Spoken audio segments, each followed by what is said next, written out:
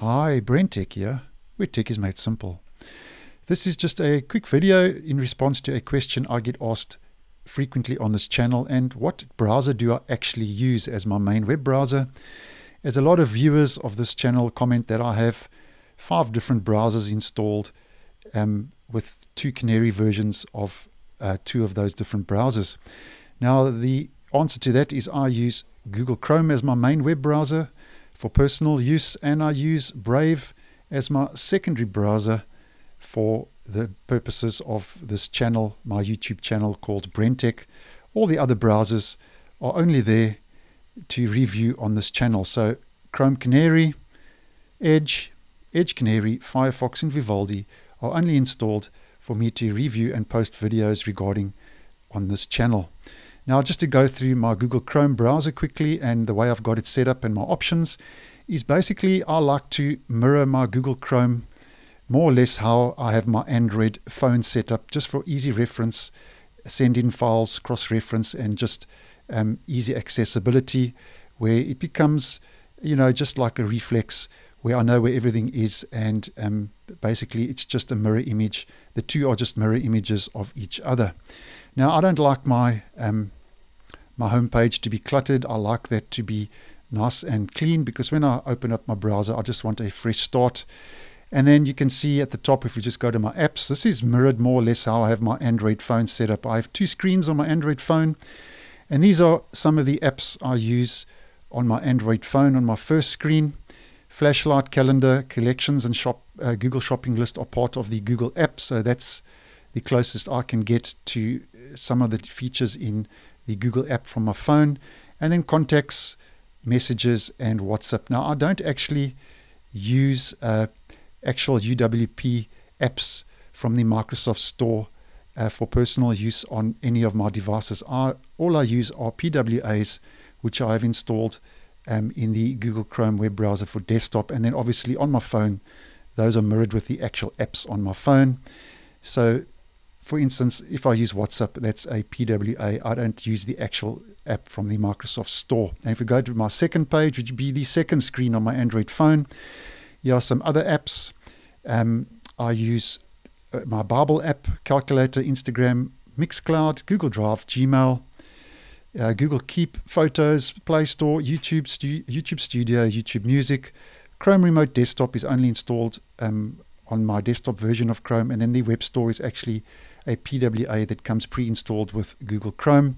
And then I have one uh, bookmark in my bookmarks bar, and that's easy reference to my channel. And then if we just go uh, to other bookmarks, yeah, I have quite a few bookmarks I've collected over the years um, in different categories, just uh, for easy reference and research, which I find quite handy. And also, I use these are the default apps I would use for uh, uh, Google apps I would use on a day-to-day basis in that quick list of Google apps that drop-down menu on the home page, which I find quite handy.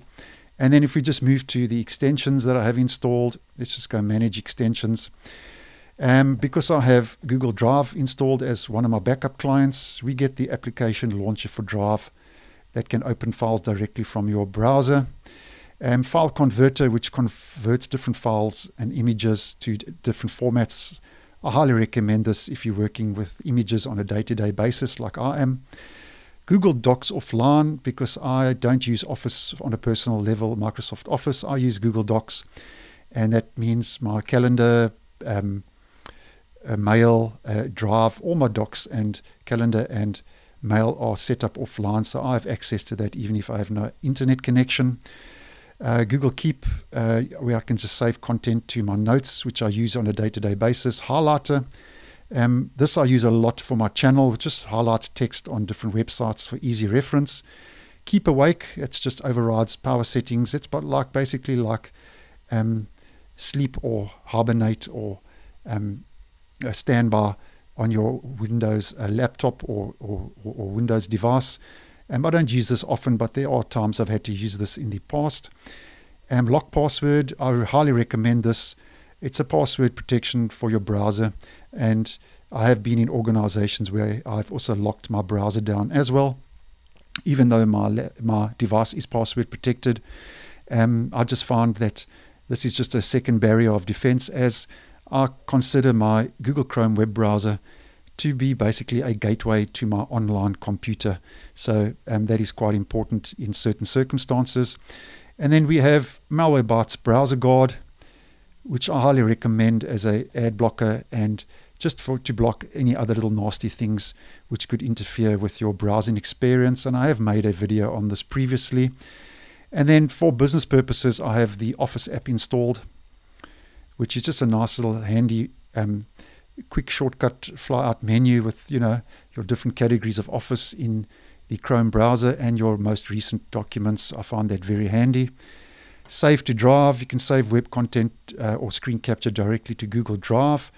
And then uh, UV Weather, uh, that's just a little weather extension I have where I can just go check out the weather for easy reference as it just gives me the temperature in the top right as well. And then calculator.